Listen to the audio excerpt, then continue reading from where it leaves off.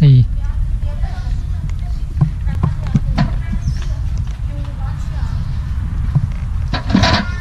นี่หมักกี่วันนะหมักก็หกเดือนขึ้นไปหกเดือนนะอืมยิ่งนานก็ยิ่งดีค่ะเลยยิ่งนานยิ่งดีนะ ยิ่งนานมันจะใสอืมแต่เพราะเราใช้เราไม่ได้ใช้ตัวจุลินทรีย์อะเราใช้น้ำมันเหรออันนี้ต้องใช้สารเคมีไหมไม่ไม่ใ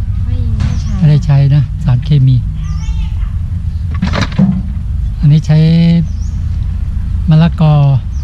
แล้วก็สับปะรดของเปรี้ยวค่ะได้ทั้งแล้วอ๋อของเปรี้ยวค่ะอืมแล้วใส่อะไร แต่คนเขาอยากทำนี่เอ่อทำยังไง ก็ทำถูพื้นใช่ไหมคะก็มีผลไม้รสเปรี้ยวทั้งหมดเลยเหรอ ได้หมดเลยค่ะ จะเป็นมะขามสับปะรดส้มโอมะนาวมะกรูดอืม ได้หมด ถังอย่างนี้ก็ใส่ใส่เนื้อ ใส่เนื้อแค่นี้อืมค่ะ แล้วก็ใส่น้ำตาลสิบโลที่เหลือก็เป็นน้ำอ๋อ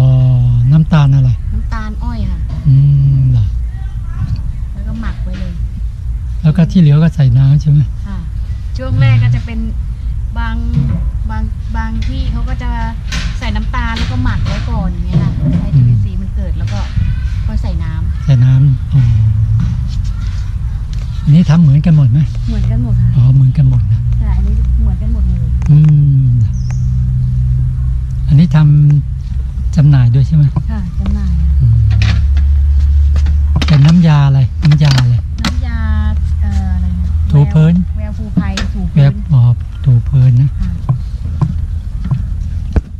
อันนี้ไม่เอาไปซักผ้าเลยนะ